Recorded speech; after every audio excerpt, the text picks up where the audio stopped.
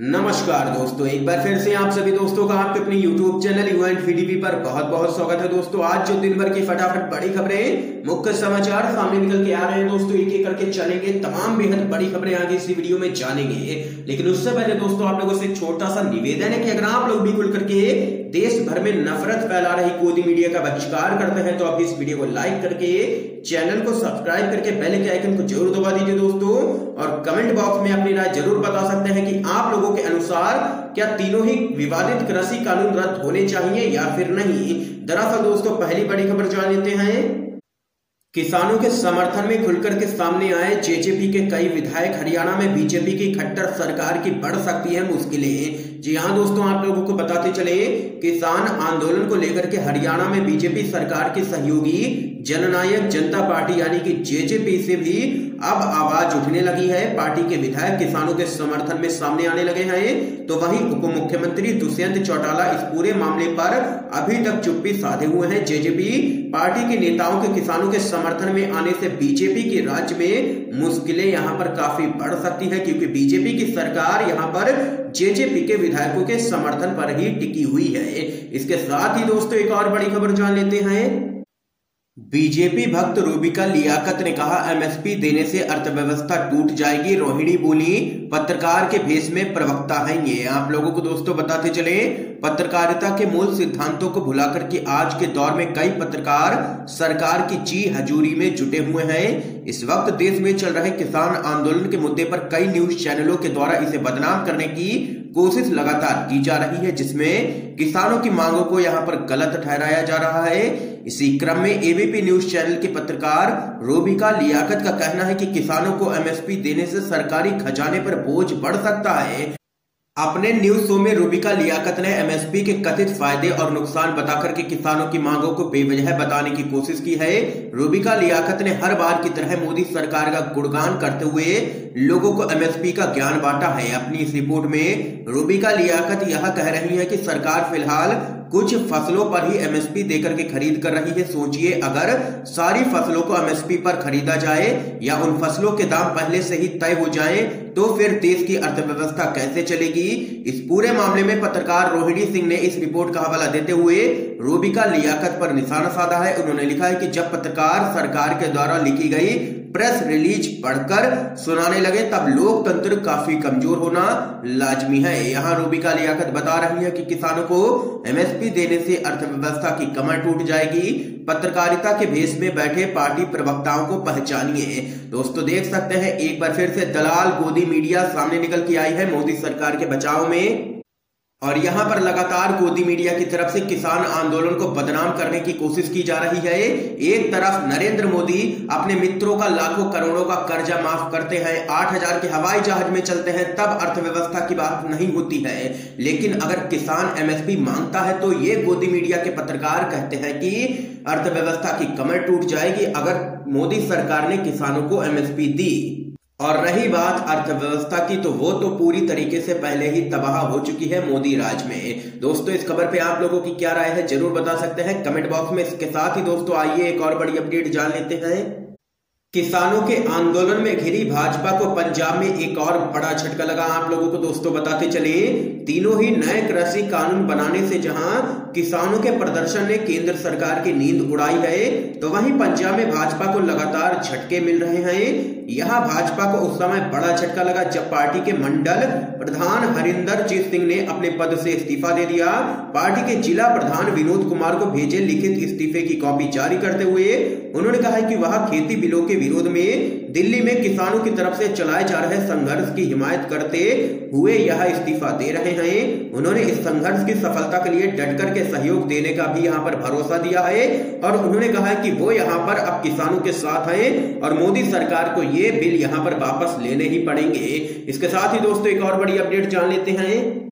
NDA में भी उठे हैं बगावत के सुर। जेडीयू के नेता ने हार के लिए बीजेपी और एलजेपी को ठहराया है जिम्मेदार। आप लोगों को दोस्तों बताते चले, बिहार के सीएम नीतीश कुमार ने जेडीयू के हारे हुए प्रत्याशियों संग चुनाव में कम सीटें आने की समीक्षा की है। अब इसको लेकर के बिहार में सियासत भी खूब हो रही है। पूर्व मंत्री जय कुमार सिंह ने चुनाव में हार के लिए बीजेपी और एलजेपी को बहुत हद तक हार के लिए जिम्मेदार ठहराया है। जय कुमार सिंह ने कहा है कि चुनाव में लोजपा और भाजपा का अंतर बताने में नाकाम रहे।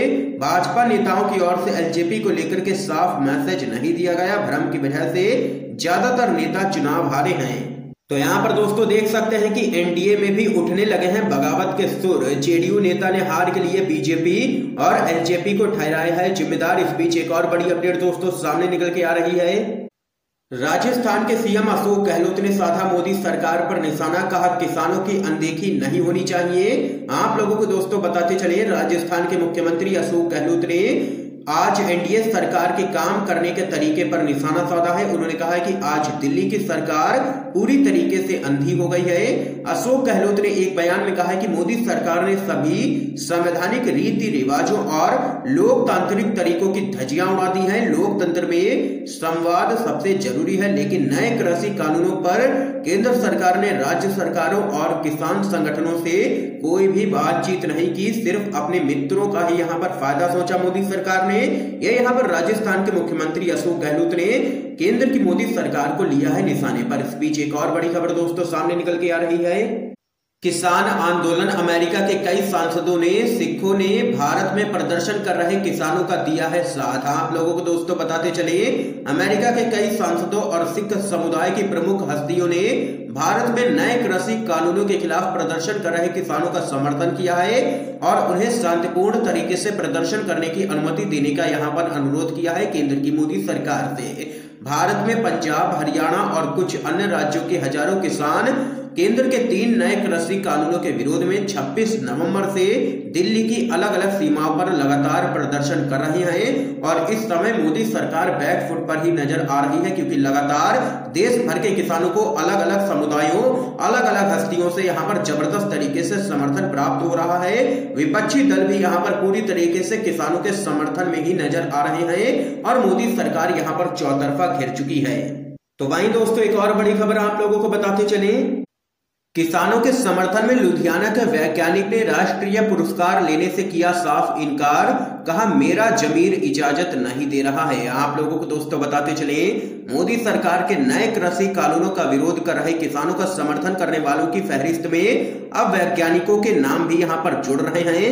लुधियाना के वैज्ञानिक डॉक्टर वरिंदर पाल सिंह ने किसान आंदोलन का समर्थन करते हुए मोदी सरकार के मंत्री से राष्ट्रीय पुरस्कार लेने से मना कर दिया है। आप लोगों को बताते चले पंजाब एग्रीकल्चर यूनिवर्सिटी के principal, soil chemist doctor Varinder Pal Singh को पौधों के पोषण के क्षेत्र में किए गए सर्वश्रेष्ठ कार्यों के लिए केंद्रीय रासायनिक एवं उर्वरक मंत्री के द्वारा स्वर्ण पदक और स्वर्ण जयंती पुरस्कार से सम्मानित किया जाना था।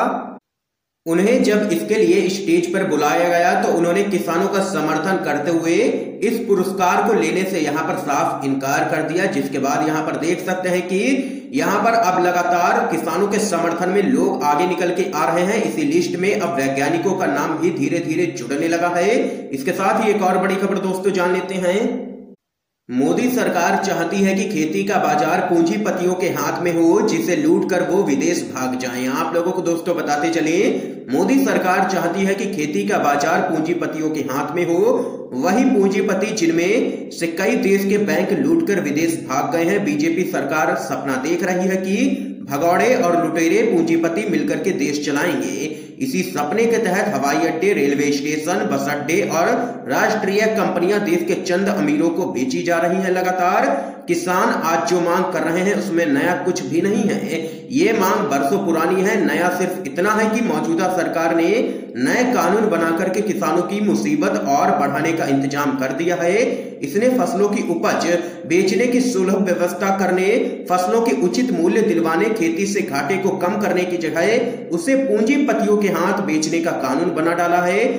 बीजेपी सत्ता में ये कह करके आई थी कि सत्तर साल में जो गड़बड़ी हुई है, उसे हम ठीक करेंगे, लेकिन उसने ठीक तो कुछ नहीं किया, सिर्फ़ बिगाड़ा ही है। जैसे मनमोहन सरकार ने जनता के हाथ में आरटीआई का अधिकार दिया था, इसने उस कानून को ही कमज़ोर कर दिया जैसे देश की अर्थव्यवस्था की रीढ़ माने जाने वाले छोटे और मझौले उद्योगों को नोटबंदी के ज़रिए ढहा दिया गया और जीडीपी को माइनस में पहुँचा दिया। इसी तरह किसानों की जो मांग बरसों से थी, वह तो अब तक बनी है, लेकिन केंद्र सरकार ने कानून बना डाला, जिसमें मंडियाँ खत्म हो जाएँगी कॉन्ट्रैक्ट फ़ार्मिंग आएगी, पूंजीपति सीधे किसानों से उत्पाद खरीदेंगे।